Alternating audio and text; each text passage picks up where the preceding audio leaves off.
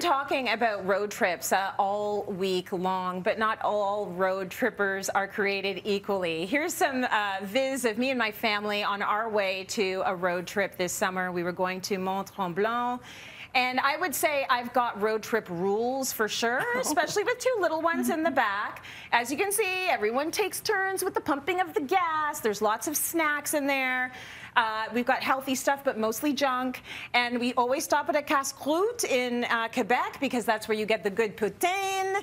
And, uh, and we make sure we have uh, everything we need in that in that truck. The one thing I do really badly is I bring too much stuff with me.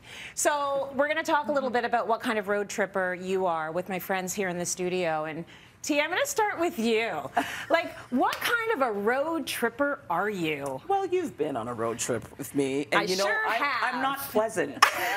um, um, I don't. I, the car gets hot. I'm getting dizzy. the car's tight. I'm being put to work. I have to uh, run the GPS, uh, pump the gas. I don't like it. I prefer to just fly, and I don't have any tasks to do. Yes. And I just feel kind of um, contained after a while. I'm like, let me out of this car. I can't Right. stand it. So for T, she knows she needs an airline ticket. Yep. That's how you're getting Yep. around.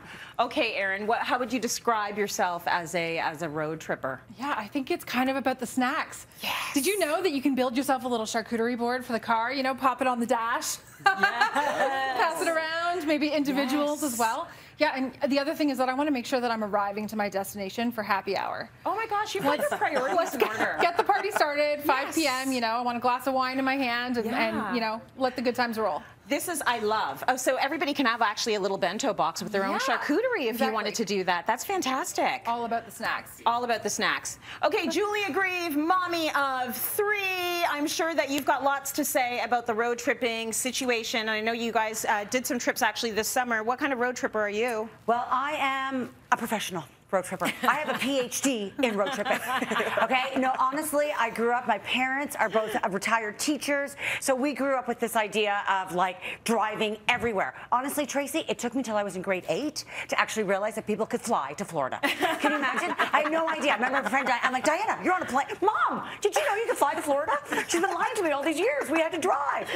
So, yeah, so no, I love it. My kids love it. We would choose it over any airline anytime. Get on a, get in the car. I love it. Do you do frequent stops or are you like, no, Oh, no, yeah. no, when we hit this point, this is when we stop. No, no, no, when we hit this point, this is when we oh, stop. Oh yeah, it's all organized, man. It's all organized. There's like there's even like goodie bags at the, the right miles, right this, and there's a seat assignment. Every time you get out of the car, you cannot get back into the same seat. Oh. Everybody has to change. Oh. It's a new move. It's Oh a new gosh. and you break everything up, Trace, in two-hour Yes. blocks. Okay. Two-hour blocks. So two-hour blocks, you could do. Whoa, turn off the screens. It's over. Yeah. We're listening to a book now.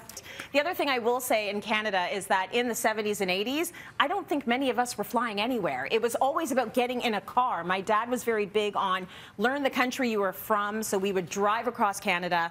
Um, and I think it's lovely that we're back there uh, because of the pandemic. Right. We're seeing Canada, which is lovely.